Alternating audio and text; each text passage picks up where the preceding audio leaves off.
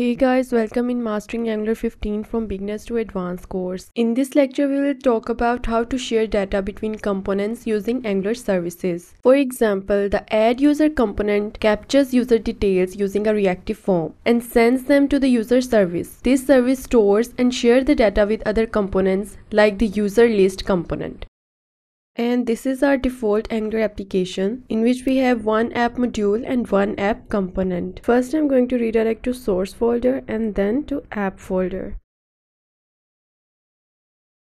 And now I'm going to write the command for service ng generate service user.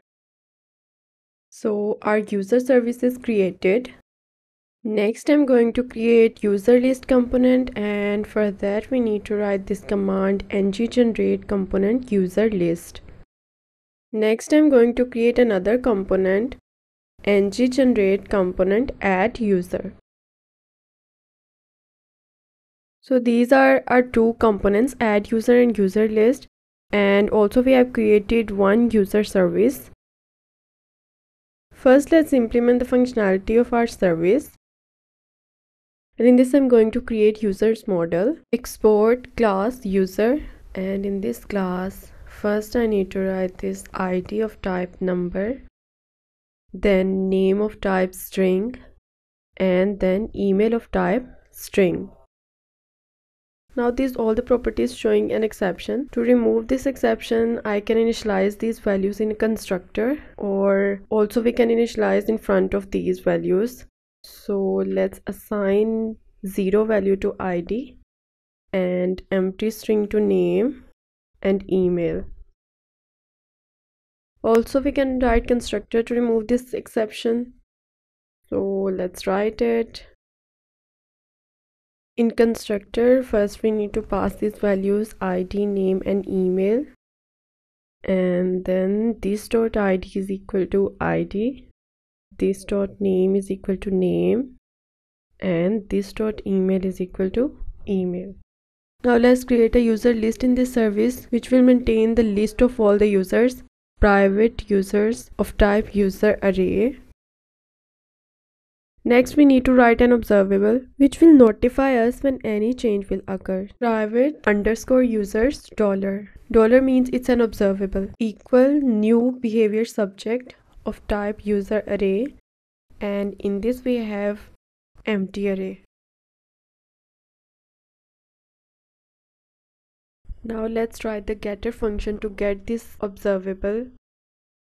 Users dollar. And it will be a getter function. It will return this dot users dollar dot as observable. Now when we access the behavior subject by this function at that place we can't change the behavior subject's value. Next we need a function to set the value of this observable. Public add user and in its params i'm going to pass the value of user. First i'm going to push this value in our array of users. This dot users dot push and then we will update our user behavior subject. This dot users behavior subject dot next. And in this i'm going to pass an updated users list. Now first we will use this service in our user list component. Here we need to create the object of the service. And we will always create the object of the service by using dependency injection and for that I'm going to pass this service in constructor private service of type user service. Now we will not subscribe it in our constructor. Constructor is only used for the initialization and for resolving the dependency injections. Now I'm going to implement the ng on init. Here we need a variable users of type user array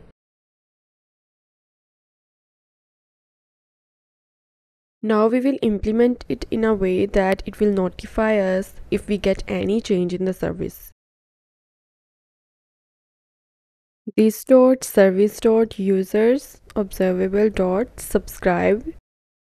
And in response we will get the list of the users which we will store in our variable users. This stored users is equal to response now let's show this entire list in our html so that we can display it on the front end and it will print the username and email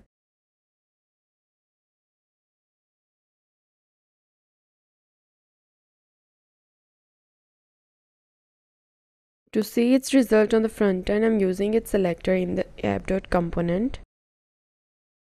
And here I'm going to add another selector which was add user component selector. Before testing it on the front end, first let's also implement the add user component where we can add user in our service. Let's implement on init then we need to write our constructors so that in our constructor we can resolve our service using dependency injection.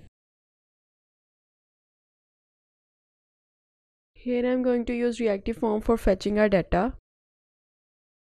If you want to understand the reactive forms then you need to see my detailed reactive form video which I have also mentioned in the description.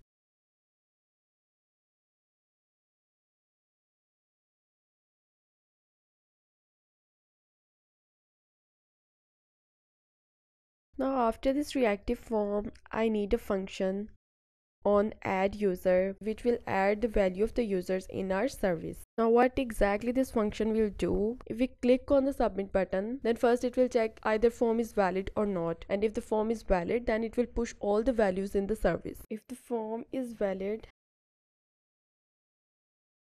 then we need a user. Constant user is equal to new user. And in this i'm going to pass some values.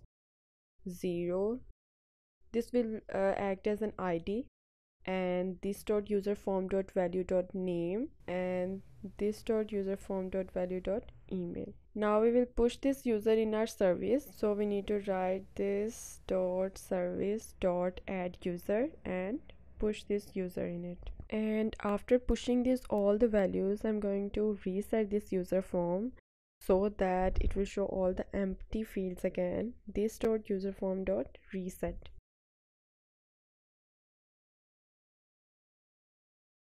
now let's write the html for these forms so that we can write the values from the front end